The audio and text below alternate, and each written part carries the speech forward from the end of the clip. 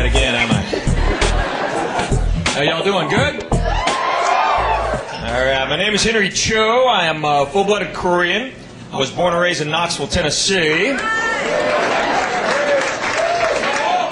So I'm South Korean.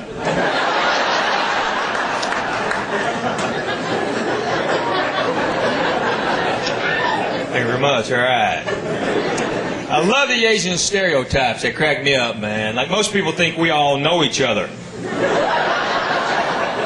Like there's some Asian meeting going on. Well, I was on a plane the other day. This guy next to me, he's a big old boy. He's overweight. I'll be nice about it. He's hefty. He looked at me and goes, You Korean? I said, Yeah. He goes, I know some Japanese people. You ought to drop by and see them sometime.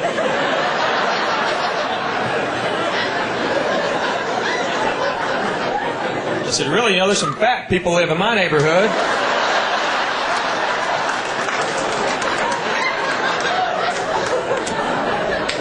How about that? I live in LA a lot of the time. A lot of Asian people there. Kind of freaks me out. Because back home I was it. I prefer it.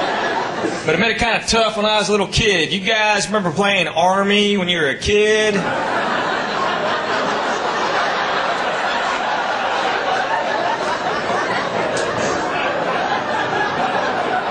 Pretty much hated that game, man.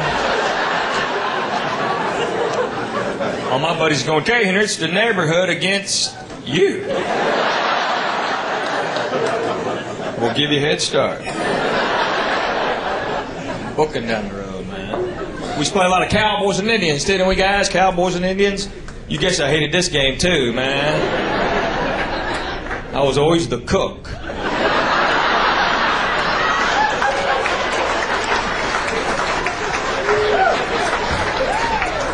Okay, there's your three Asian jokes. Take them home.